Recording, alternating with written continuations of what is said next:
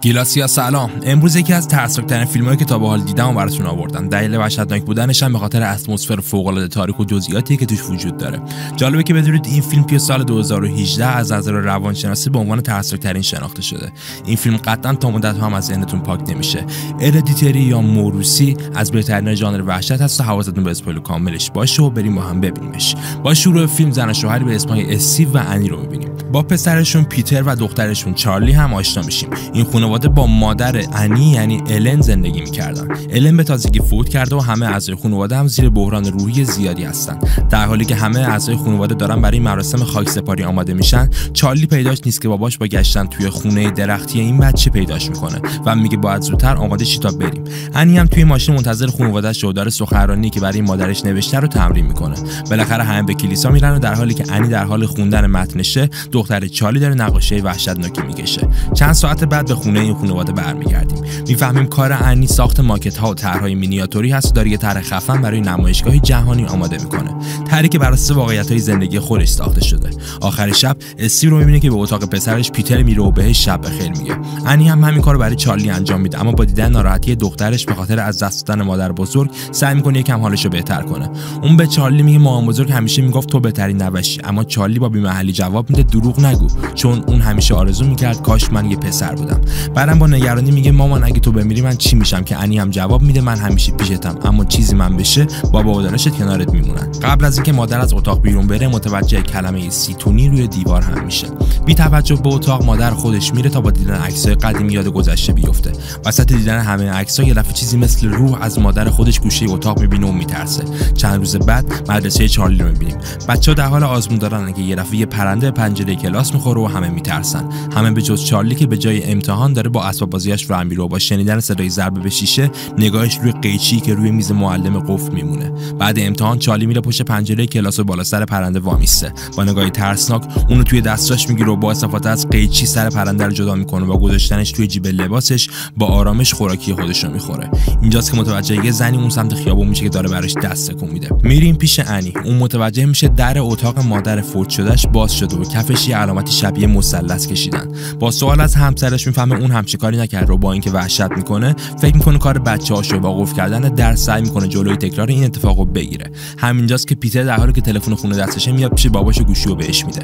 اون طرف خط از مدیریت قبرستون تماس گرفتن. اونا به استیو اطلاع میدن که قبر الن یا همون مادر زنش باز شده و جنازه از توش ناپدید شده. استیو خیلی میترسه اما تصمیم می‌گیره به خانواده‌اش چیزی نگه تا این موقع نگران نشن. شب میره صبح از اینکه انی به خانواده‌اش میگه می‌خواد برای خوب کردن حال خودش بره سینما از خونه بیرون می‌زنه. می‌بینیم که سینمایی در کار نیست اون عضو گروه پشتیبانی شده. تو این گروه ها افرادی که مشکلات بزرگ دارن دور هم جمع میشن و سعی می‌کنن با صحبت کردن از این مشکلات حال خودشون رو بهتر کنن.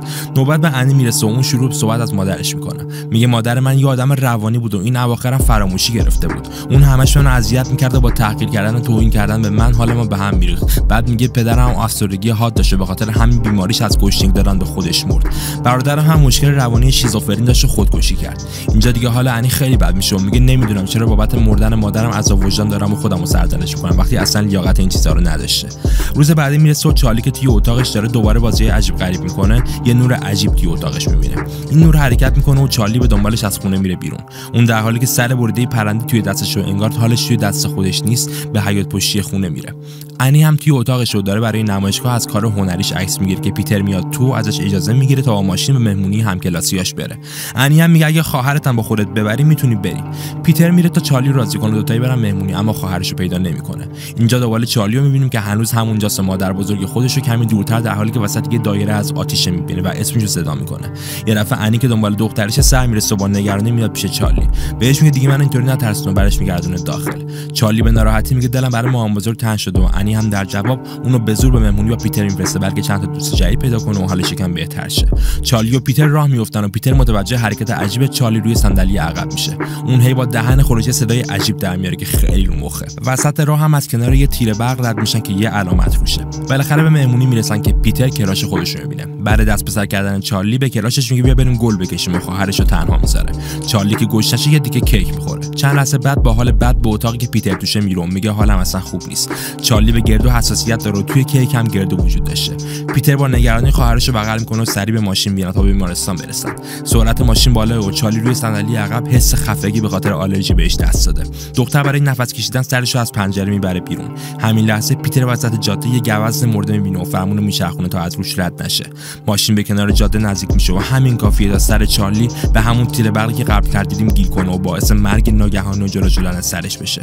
پیتر تو شوک بیرو ماشین نگه میداره. چند لحظه همه جا ساکت و هیچ حرکتی از خودش نشون نمیده. تا در آخر بدون نگاه کردن به بدن بیجون خواهرش به آرومی حرکت می‌کنه و به خونه برمیگرده. انقدر این اتفاق براش ناراحت کننده است که حتی نمی‌تونه باورش کنه. پیتر به خونه می‌رسه و به آرومی بدون نگاه کردن به صندلی عقب ماشین به اتاقش بیرو مثل جنازه ها روی تختش دراز می‌کشه. صبح میشه و وقتی صدای جیغ مادر بلند میشه می‌فهمه که همه چی واقعی و جنازه خواهرش توی ماشین پیدا شده. چند روز آینده این خانواده توی شوک روانی هستن و غم فوق العاده ای دارن. مادر همش در حال زار زدن و پیتر هم داره از فشار عذاب وجدان روانی میشه. بعد از خاک سپاری چارلی پیتر رو می‌بینه که با دوستاش نشستن و تصمیم می‌گیره دوباره گل بکشه. اینجاست که یه دفعه حمله عصبی بهش دست میده و در حال گریه کردن میگه حس می‌کنم گلوم داره منفجر میشه. این اتفاق به شدت توی زندگی پیتر تاثیر بر گذاشته و داریم میبینیمش. شب که به خونه برمیگرده انی رو می‌بینیم که توی ماشین نشسته و در حال گریه کردنه. اون میره سمت گروه پشتیبانی که حالش بهتر اما بیخیال میشه و می‌خواد برگرده خونه. قبل به دور زدن ماشین یکی از اعضای همین گروه به اسم جون جلوشو می‌گیره. جون می‌پرسه چرا به گروه نیومدی که انی هم بهش میگه دخترم چند روز پیش فوت کرد. جون هم باهاش همدردی می‌کنه و میگه دختر و نوه منم تازگی با هم فوت کردن. بعدم شماره خودش رو به انی میده و میگه اگه خواستی با کسی صحبت کنی حتما به من زنگ بزن. موقع خواب می‌رسه و استیو می‌خواد برای بهتر کردن حال خودش و همسرش سکس کنن. اما انی با عصبانیت از شوهرش پس می‌زنه و میگه می‌خوام تو خونه درختی چارلی بخوابم. پیتر رو می‌بینه که تو اتاقش و همچنان به خاطر شوک نمی‌تونه بخوابه. یه دفعه همون صدای عجیبی که چارلی با دهنش دم میآورد و میشنوه و پشماش میریزه. با لباس خواهرش گوشه اتاق فکر می‌کنه روح اونه که برگشته. روز بعدی می‌رسه و انی رو می‌بینه که به خونه جون رفت تا باهاش صحبت بکنه. با شروع صحبتش به جون میگه من خیلی وقتا توی خواب راه میرم. یه بار توی خواب جفت بچه‌هامو با یه عالمه رنگ شسته بودم و خواستم با کبریت آتیششون بزنم. وقتی بیدار شدم دیدم کنارشون وایسادم یه بسته کبریت با یه قوطی رنگ دستمه. کلی هم وحشت کردم. از اون روزی که رابطه من و بچه‌ها خیلی عوض شد و حس می‌کنم ازم میترسن. شب موقع شام انی نمی‌تونه غذا بخوره و به میز زل زده. بعد مدتی پیتر با نگرانی می‌پرسه مامان چی شده؟ انی میگه هیچی. اما وقتی دوباره پسرش این سوالو می‌پرسه یه دفعه شروع به جیغ و داد می‌کنه. انی با عصبانیت میگه تو دختر منو کشتی و مقصر همه اتفاقایی هستی که برای خانواده‌مون داره میفته. پیتر حالش از همیشه بدتر میشه اما میگه اونی که چارلیو مجبور کرد با من بیاد مهمونی تو بودی پس تو مقصری. پدر خانواده سعی می‌کنه جو خونه رو آروم کنه که انی با عصبانیت از اتاق میره بیرون. روز بعدی مادر به فروشگاه میره تا لوازمی برای کار هنریش بخره. موقع خروج از فروشگاه دوستش جون می‌بینه. جون با هیجان میاد سمتش با خوشحالی برای انی تعریف می‌کنه که با یه نفر آشنا شدم که می‌تونه یه ارتباطی با روح بچه و نوام بگیره و با احضار کردنشون می‌تونم دوباره باهاشون صحبت کنم. انی باوری به این حرف نداره اما جون اصرار می‌کنه که بیا تا بهت نشون بدم و باورت بشه که تو هم انجامش بدی. دوتایی به خونه جون میرن و اون خیلی سریع کاری که یاد گرفته رو انجام میده. یه مراسم ساده شکل می‌گیره و نوه خودش رو صدا می‌کنه. یه دفعه گچ که روی تخته روی میزه شروع به نوشتن چیزی می‌کنه که کرکوپر انی از وحشت میریزه. جون هر جوری هست کم انی رو آروم می‌کنه و با دادن متن تلس و مراسم بهش میگه کافی یکی از وسایل شخصی دخترتو برداری و در حالی که همه اعضای خانواده تو اتاق هستن روش رو احضار کنی و با هم حرف بزنید شب موقع خواب انی یه دفعه جاش بلند میشه و یه عالم حشرگی روی زمین می‌بینه. با دنبال کردنشون به اتاق پسرش می‌رسه و با دیدن جنازه پوسیده پسرش از ترس فریاد می‌کشه. یه دفعه پیتر که کاملا سالمه از رو تخت بلند میشه و به انی میگه مامان دوباره تو خوابت داشتی راه می‌رفتی. بعد می‌پرسه حالت خوبه که مادر یه بهش میگه تو اصلا نباید اینجا باشی چون من حتی خواستم تو رو سخت کنم اما هر کاری کردم زنده موندی. پیتر با شنیدن این حقیقت به هم میرزه و یه دفعه می‌بینیم هر دوتاشون آتیش می‌گیرن و اینجاست که دوباره انی چشماشو باز می‌کنه تا بفهمه همه اینا خواب بودن. انی این بار از جاش بلند میشه و با برداشتن دفتر نقاشی چارلی پسر و شوهرش رو بیدار می‌کنه تا اون مراسم ارضای روح رو اجرا کنن. همسرش استیو میگه این کارت واقعا مسخره است و من انجامش نمیدم. اما پیتر وقتی تقلای مادرش برای راضی کردنشون می‌بینه میگه باشه انجامش بدیم. استیو هم با شنیدن تایید پسرش قبول می‌کنه. مادر تلت که دوستش گفت رو می‌خونه و دخترش رو صدا می‌کنه. بعد چند لحظه پیتر میگه خیلی اتاق زرد شده یه لیوانی که دستشون روشه با سرعت حرکت می‌کنه.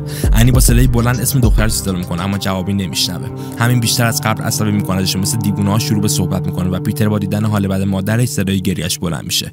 همین وسط یه دفعه لیوانا شروع به افتادن می‌کنن آتیش شمی که جلوشون هم میره بالاتر. مادر یه حرکت عجیبی می‌کنه و حرفایی می‌زنه که انگار توسط روی چارلی تسخیر میشه. پیتر از وحشت داره سکته می‌کنه که پدرش با هر سختی هست موفق میشه با ریختن آب روی زنش اونو به حالت عادی خودش برگردونه. روز بعد پیتر سر کلاس درسش که متوجه یه نور عجیب میشه. همون نوری که چارلی دیده بودش. پیتر با دنبال کردن نور نگاهش با آینه کنارش بیفته اما با دیدن چهره خندان خودش توی شیشه در حالی که حالت چهره خودش جور دیگه یه وحشت می‌کنه و از اتاق میره بیرون. انی رو می‌بینیم که توی خونه نشسته. استیو وی زنگ می‌زنه و میگه پسرمون از مدرسه با هم تماس گرفته و میگه حس می‌کنم یه روح شیطانی دنبالمه. بعدم به انی میگه این مسخره بازیاتو بس کن خیلی تاثیر بدی داره روی پیتر می‌ذاره. عصبانیت انی بیشتر از همیشه شده و همینه که یه دفعه همه کاری هنری که تا الان کرده رو میشکنه و نابود می‌کنه. چند شب بعد انی از خواب بیدار میشه و می‌بینه تو دفتر نقاشی چارلی چیزای عجیبی داره کشیده میشه. پیتر هم موقع از خواب میپره با دیدن خواهرش گوشه اتاق کلی میترسه. یه دفعه سر چارلی از بدنش میفته زمین و تبدیل به یه توپ میشه. این در حالی که سگ خانواده جلوی در وایسته رو انگار اگه چیزی داره میترسه. یه دفعه دوتا دست کردن پیتر رو از پشت می‌گیرن و می‌خوان خفش کنن. انی با شنیدن فریاد پسرش میاد تو اتاق. اما پیتر هم که موفق میشه خودش رو آزاد کنه مادرش می‌بینه و با وحشت بهش میگه تو دوباره داشتی توی خواب راه می‌رفتی و می‌خواستی منو بکشی. فکر می‌کنه که مادرش داشته خفش می‌کرده. انی میگه به خدا من نبودم اما پیتر قبول نمی‌کنه و می‌خواد با پاش صدا کنه. انی میگه باید منو باور کنی چون یه سری اتفاق عجیب توی خونه دارم میفتن و فقط من می‌تونم متوقفشون کنم. مادر دفتر نقاشی دخترش رو برمیداره و می‌فهمیم نقاشی جدید که توش کشیده شدن همه به شکلی انگار مرگ پیتر رو دارن به نمایش می‌ذارن. انی با برداشتن دفتر نقاشی به کنار شومینه میره چون می‌دونه با سوزوندن این دفتر روح به آرامش می‌رسه. اما همین که دفتر رو توی شومینه میندازه یه دفعه بدن خودش هم شروع به سوختن می‌کنه. اینجاست که می‌فهمه تلس با این دفتر با خودش جفت شده و سری دفتر رو از آتیش می‌کشه بیرون تا خودش رو نجات بده.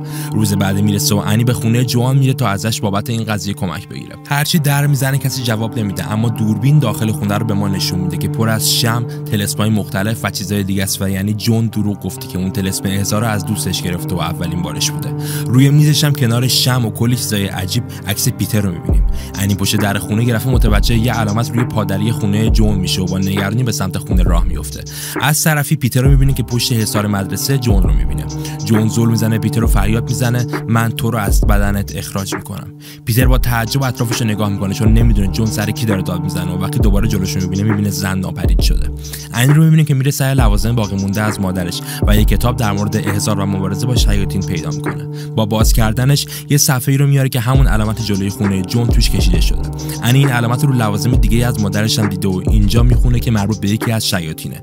تو آلبوم عکسای مادرش هم با تعجب سری عکس از مادرش با جون پیدا می‌کنه و می‌فهمه این زن کلا همه حرفاش دروغ بوده و از اول خانواده رو میشناخته. عکسای دیگه هم از یک گروه هست که هم مادرش و هم جون عضوش بودن. با خوندن اطلاعات مربوطه می‌فهمه این گروه برای به دست آوردن پول و چیزای مادی همون شیطانی که دیدیم و اسمش پایمون هست رو احضار می‌کنن و اونو توی بدن مرد می‌ذارن تا ازش کمک بگیرن. انی با خوندن اینا وحشت می‌کنه و همه این لوازم می‌بره تا توی اتاق زیر شیروانی بذاره و کسی دیگه پیداش نکنه. اینجاست که یه صحنه وحشتناک دیگه هم اتفاق میفته انی تو اتاق زیر شیروانی جنازه پوسیده مادرش رو در حالی که سر از تنش جدا شده و علامت احضار پایمون روی تنش هست پیدا می‌کنه. پیتر رو سر کلاس می‌بینیم. دوباره همون صدایی که خواهرش با دهن در میآورد و میشنوه و ترسش زیاد میشه. یه دفعه دستش مثل آدمای تسخیر شده میاد بالا و حالت تشنج بهش دست میده. بعد شروع می‌کنه به کوبیدن سر خودش روی میز. یه دفعه به خودش میاره با داد زدن از اتاق فرار می‌کنه. این در حالی که بقیه همکلاسیاش با شوک و وحشت دارن نگاش می‌کنن. استیو رو می‌بینه که به خاطر رفتارهای عجیب همسرش داره با این مرکز روانشناسی صحبت می‌کنه تا انی رو به اونجا ببره. تو اینترنت یه دفعه خبری راجع به نقش قبر مادر زنش می‌خونه و همین لحظه تلفنش زنگ می‌خوره. از مدرسه پیتر بهش زنگ می‌زنن و استیو سری میره تا پسر داغونش رو به خونه برگردونه. تو راه برگشت حال استیو خیلی به هم ریخته و یه لحظه نزدیک تصادف کنه که وقتی جون سالم به در این بره وسط خیابون می‌زنه زیر گریه. به هر حال پیتر رو می‌بره خونه و می‌ذاره رو تختش که انی هم با نگرانی میاد و قضیه جنازه تو اتاق بالایی رو میگه. استیو که به حال روانی همسرش شک داره فکر می‌کنه این هم یکی از همون رفتارهای مسخرش اما وقتی از نردبون میره بالا جنازه بی سر الن رو می‌بینه و با وحشت میاد پایین. سری میگه چرا به پلیس زنگ نزدی که انی میگه کاری از اونا بر نمیاد. بعد شروع به توضیح دادن همه چیزای مربوط به احضار پایمون و گروهی که مادرش عضوش بوده می‌کنه که هرچی بیشتر میگه استیو شک بیشتری به سلامت عقلی همسرش پیدا می‌کنه.